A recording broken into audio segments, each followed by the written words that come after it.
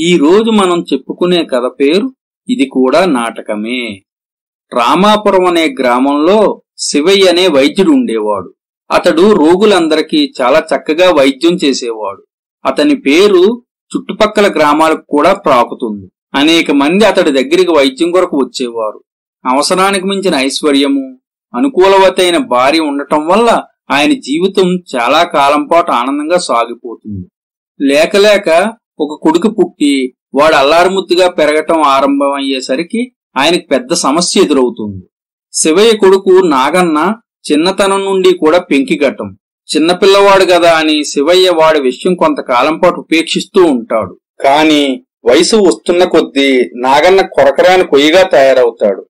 ఎవరి మాట వాడికి లక్ష్యం లేదు. యుక్త వయస్కుడు అయ్యాడు కాని వాడికి ఇంకా ఓనమాలైనా సరిగా రావు. వాడి ధ్యాస ఇప్పుడు ఆటలపైనే. వాడి ధ్యాస ఆటలపై నుండి చదువు మీదకు మళ్ళించటానికి శివయ్య ఎన్నో ప్రయత్నాలు చేశాడు. వాణ్ణి కూడా తనలా గొప్ప వైద్యుణ్ణి చెయ్యాలనుకుంటాడు శివయ్య. కాని లాభం లేకపోయింది.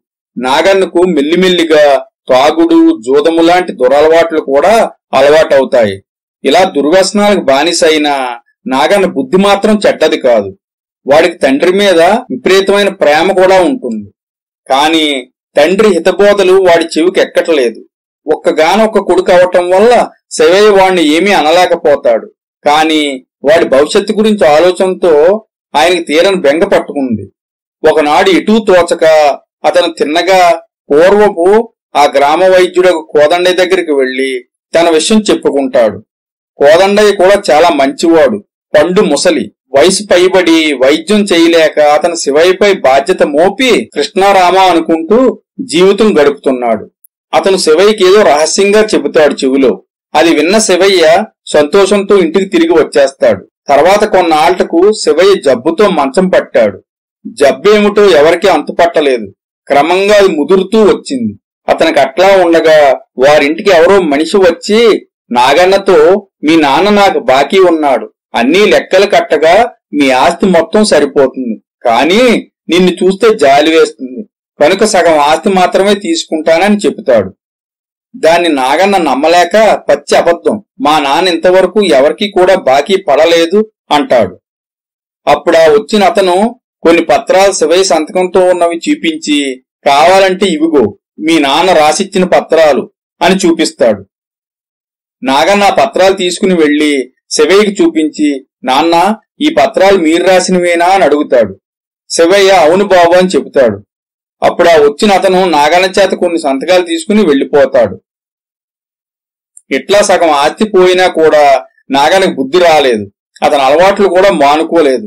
సవైకిప్పుడు ఇప్పుడు సంపాదన ఆగిపోయింది.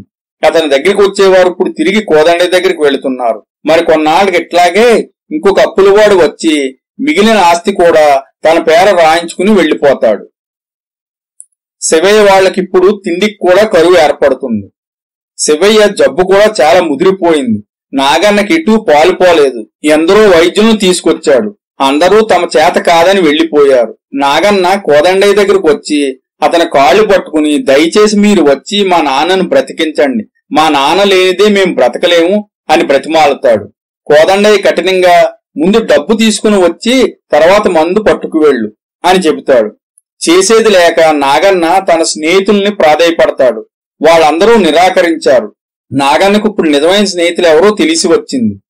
దిగాలు పడి ఇంటికి తిరిగి వచ్చిన నాగన్నను చూచి శివయ్య ఓదారుస్తాడు నాగన్న శివయ్య కాళ్ళపై పడి నన్ను క్షమించు నాన్న ఎన్నాళ్ళు మీ మాటలు పెడచెవిని పెట్టి తిరిగిన ఫలితం నేను అనుభవించటమే కాకుండా మిమ్మల్ని కూడా బాధ పెడుతున్నాను.